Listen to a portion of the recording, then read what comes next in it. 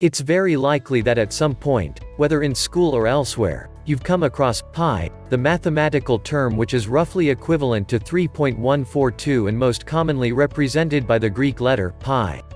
To many people, particularly those who aren't familiar with mathematics, or stopped studying years ago, pi can seem pointless, unnecessary, and confusing. Let's take a deeper look at pi, where it came from, and why it's so often used in mathematical calculations. What does pi actually mean? First of all, let's consider what pi actually means and why it is used in mathematics. The number equivalent to pi, 3.142 to 3 decimal places, is the number that you get when the circumference of any circle is divided by its diameter. This will be the case regardless of the size of the circle you are using. Therefore, Pi can be used to help with a range of calculations, including working out the length of a circle's diameter or the length of its circumference. Although pi is equal to 3.142 when rounded to 3 decimal places, it doesn't stop there.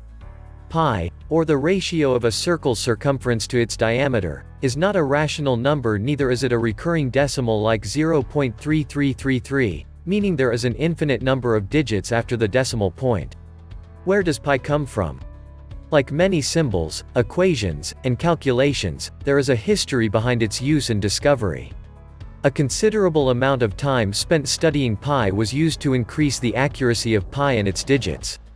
Historians and mathematicians believe that pi was known 2000 years BC, and the Egyptians and Babylonians were aware of it and its uses.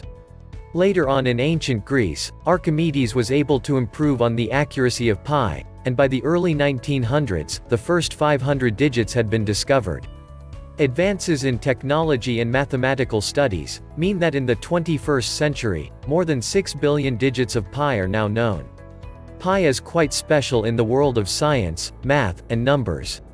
March 14 has become known as Pi Day, where many people around the world eat pie to celebrate this fascinating number.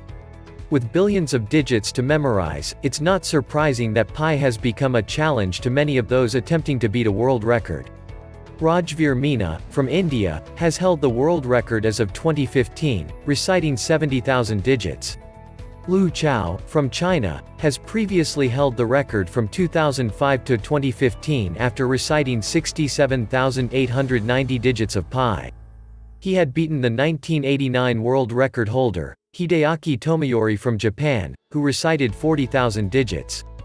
Ludolf van Ceulen, a Dutch-German mathematician, spent most of his life trying to calculate the digits of pi. In 1596, he published a book which contained a total of 20 digits of pi. He later calculated 15 more digits, increasing this to 35 digits. His huge contribution to the discovery and calculation of pi resulted in pi also being known as the Ludolphine number. Van Ceulen was buried in Leiden, where pi with its 35 known digits was engraved on his headstone. William Jones, a Welsh mathematician, was the author of several books and works, including for beginners of mathematics. He used pi to explain the ratio of a circle's circumference to its diameter. Leonhard Euler, a Swiss mathematician, physicist, and engineer, is often credited as promoting the use of pi in the world of mathematics. Isaac Newton (1642–1727), an English mathematician, also played an important role in developing pi, especially in terms of advancing the accuracy and number of digits which were known. In 1666, Isaac Newton used an arcsine series, or inverse trigonometry, to calculate the first 15 digits of pi. Although there are approximately 6.4 billion digits of pi now known, there is still more to discover. While it is accepted that enough digits of pi are now known to ensure calculations are as accurate as possible. Who knows in future, how many digits of pi may be discovered in another hundred years from now.